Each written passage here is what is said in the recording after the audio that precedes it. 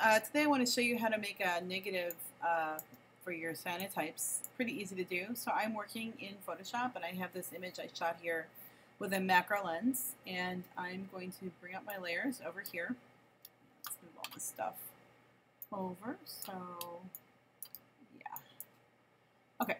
So what I'm going to do, first of all, is like color is not going to print and I don't necessarily have to knock it out, but what I can do is go to my um, hue saturation and just pull that up and I'm going to bring saturation all the way over. So I want to see if this image stands alone on its own.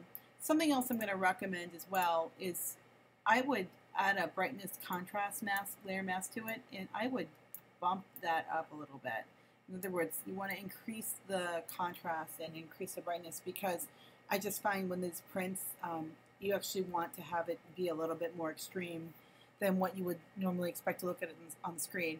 And then the last thing, this has got to be a negative. So um, I'm going to come back over here and grab the invert tool and I'm going to invert it because it needs to be a negative. So that's pretty much it. Um, when I save this, I'm going to save this as a JPEG uh, to print and um, I'm going to call this guess, silver cyanotype 1 and then um, I'll have a folder for you guys to put these in so that you can add them.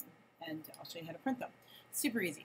Now, um, that's a basic uh, photo uh, negative, and in, in, just a minute I'm going to show you how you can go back in and play around with the idea of adding text and things like that for a combined image, um, and I'll do that in the next video.